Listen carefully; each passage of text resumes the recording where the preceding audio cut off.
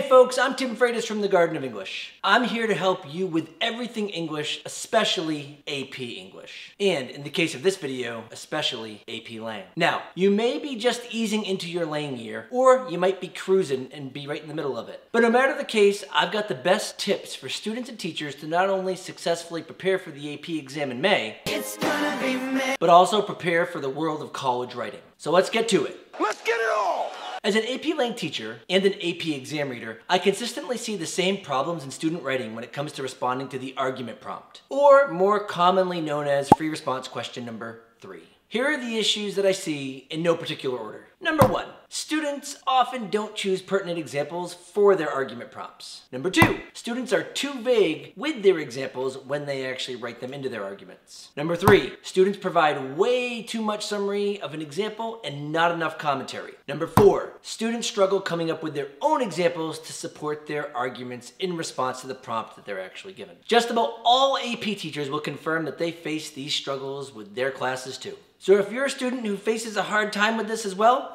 know that you're not alone. And today, I have a solution for students and teachers alike. Universal Evidence Logs. I'm going to show you an assignment that I have my students practice throughout the school year. Even when my class isn't studying argument, I still require students to complete these logs so that when we get to argument at the end of October, they'll have already gone through this process three to four times and will have a minimum of 36 potential examples to pull from when they start constructing their own arguments. What these logs are meant to do is create a bank of knowledge that you can refer to throughout the year as you write for your classes. And you can use these knowledge banks as a study resource the week of your exam. Hey, you can even use it and study it the night before the exam in May. For you students, if you practice this assignment every few weeks over the school year, or if you're a teacher and you assign these logs every few weeks throughout the school year, there will be a total of 64 plus precise examples for you to pick from on exam day, and that's only if you complete this process eight times over the year. Now, right before I begin, I need to shout out to my colleague Melissa Williams at Barrington Christian Academy.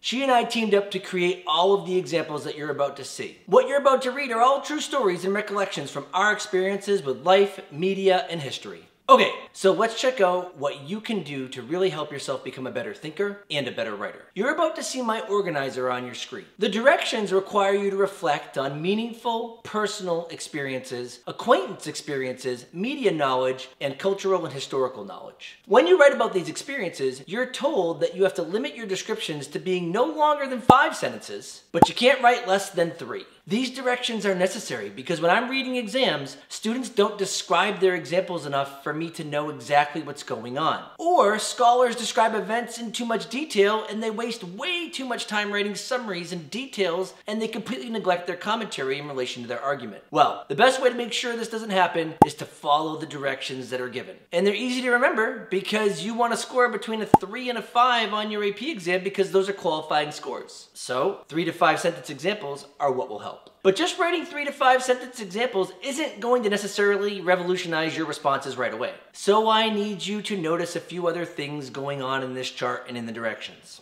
First, each column asks you to describe something specific, something concrete. This means that something actually happened and can be tangibly experienced. Nothing in this chart is hypothetical. Even if you write about something fictional in the media knowledge column, those events might not have really happened in real life, but they do exist in some form of TV or radio or literature. All tangible forms of media. You can experience them with any of your five senses. Hypothetical examples are like vacuums. They really suck so try not to use them. Second, the directions not only require three to five sentences, but they require you to focus on your use of verbs, adjectives, and adverbs. Now, if you can do that and precisely use advanced punctuation, you'll be in even better shape. The more precise you are with the language that you choose, the better. You'll also have more of an opportunity to earn the sophistication point in the argument essay if you practice by creating these evidence logs. This is because you're beginning to make effective rhetorical choices that consistently strengthen the force and impact of your argument. Practice this all year, and you'll most likely have mastered the precision writing needed to earn the point. Then you'll be able to ride off into the sunset on that unicorn. So let's take a quick peek at one of my examples from the chart, and let's see how I've hit all of the above requirements. I'm going to look at my example in the cultural knowledge column.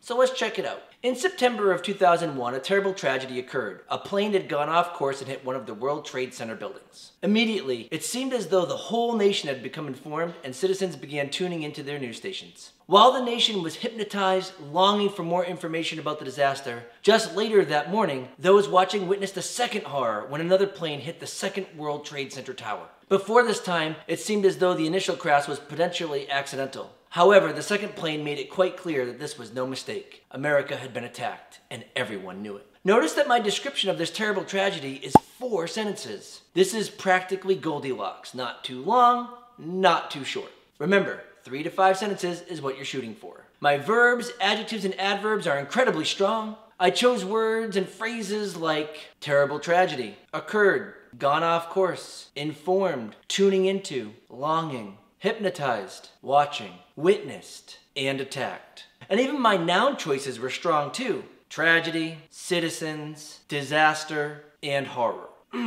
Delicious writing especially with my proper use of semicolons and colons. You'll notice that I haven't provided topic sentences or commentary for any of the examples in the log. That's because you don't have a prompt to respond to yet. And the point of this exercise isn't to teach you about creating topic sentences and extrapolating your commentary. I've got other videos and playlists for that. This assignment is about building your knowledge bank. Once you've begun growing your wealth of knowledge, you can look up past AP Lang prompts. I've got them linked right in the video description down below. You can read the prompts and see which of your stories may be able to work for the different prompts that are available to you. For example, my ridiculous personal example about the monkey bars could easily have been used if I were writing the 2012 certainty and doubt prompt. The O.J. Simpson example could also work incredibly well for it. The story about Jen and her neighbor could function well in an argument about the value of exploring the unknown.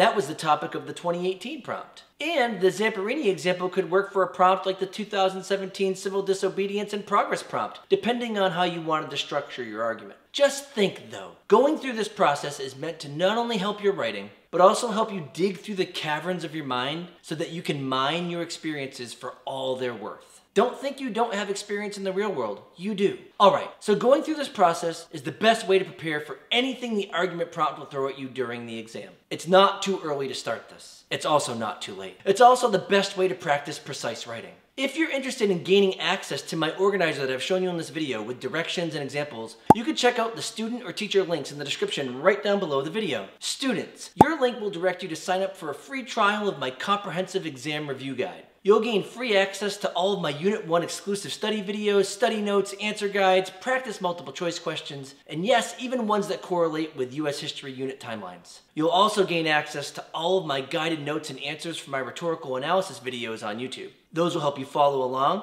to own that essay. And teachers, your link will direct you to sign up for a free informational course about other GOE offerings. I'll not only hook you up with this organizer, but also a free AP Lang Unit 1 rhetorical situation test and answer key. In fact, let's make that two of them. If you want even more help writing arguments, I've linked a full argument playlist in the description right down below with everything else. And now that you've begun to build your argument example banks, you can check out my videos about how to include them in your argument essays. And they're gonna pop up right about now.